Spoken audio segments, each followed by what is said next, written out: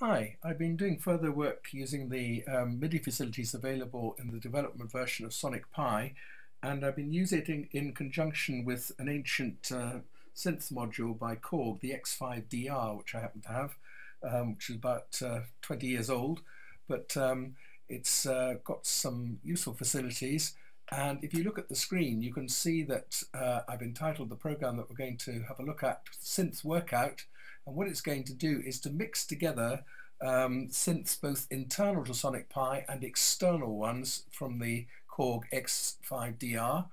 And um, I've arranged it so that we can choose any of the two banks of synths which are readily available. Um, the first one here, Pipe Dreams, X Piano and so on, which you can see in this section. And a second bank, uh, which are standard GM um, items down here and uh, it's possible to send MIDI commands from Sonic Pi to the X5DR to enable it to select any of these um, depending upon the numbers that you choose. And um, once we've chosen them, I've got a little um, definition here, syn name, which is going to be fed in with an index number and the bank that we've chosen, either the top one or the bottom one there, and it will return the number of the name of the synth that we've actually got in use. Uh, this second little routine here, which I call BS for bank select, uh, we feed in two numbers, the bank and the number of the synth program that we want, and it will actually select those. And it does so by using Sonic Pi commands MIDI raw to send a stream of numbers to um, the module. And uh, these first two uh, uh, commands here uh, select the bank that we want, um, either the first one at the top there or the second one, and then after a slight pause, which I found is necessary in order for the X5DR to uh, reliably receive the commands and have time to, to um, implement them, we send um, the program uh, that we actually want to select, the synth we want to select, which is held in N. And then I'm using the first of these routines here, syn name up above there, to simply print on the screen over here the synth that we've chosen. Uh, to make the program a bit more interesting, I've got two further features which I've added. A live loop here, which is going to vary the value of a variable f. It's going to sweep it up and down between the limits of 0.05 and 0.95. And this is going to be used to set the amplitude of the internal synth and it's going to be used to set the um, effective amplitude of the external one by controlling the velocity with which the uh, effective key is pressed when the synth is um, activated.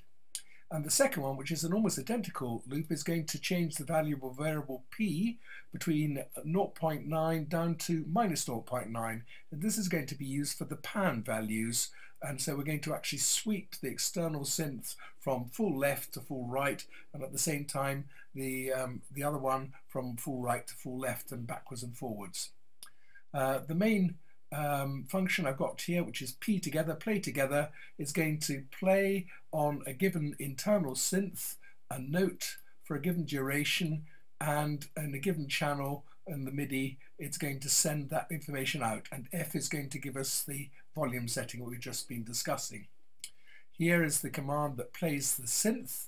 and the second one is first of all going to set the pan value of the um, MIDI synth using a MIDI control message um, and then it's going to play the MIDI note again and the, the velocity with which it is um, struck um, in the range 0 to 1 is going to be 1 minus f. So when f is quite large, this will make the synth uh, sound loud and it'll make the MIDI note sound soft and vice versa as the value of f changes.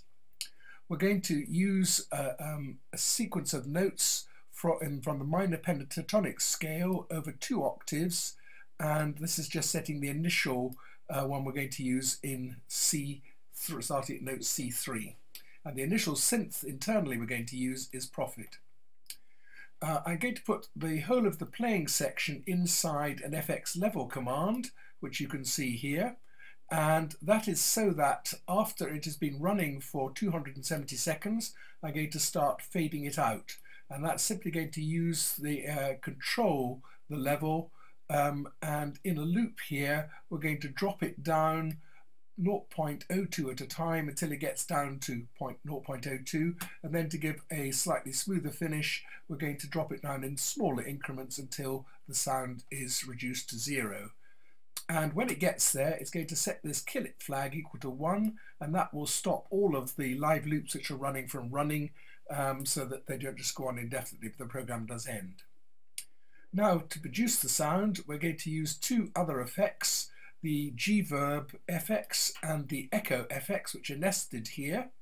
And then um, because we're playing an external synth, we need to get the audio from that back into Sonic Pi. And to do that, we're going to use the Sound in Stereo synth. And what that does is that we feed from the external synth the audio back in to Sonic Pi, and it comes in at this Sound in Stereo. And um, this is going to effectively record it for um, eight seconds and then it's going to go back and start another buffer worth and I'm setting the amplitude of this to 2 because the signal coming back from the um, external synth is slightly low and so that just boosts it a little bit.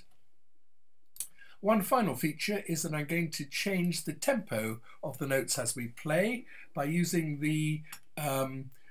use BPM mul multiplier command down here and we're going to initially increase it by a factor of 1.05 each time we go around this loop.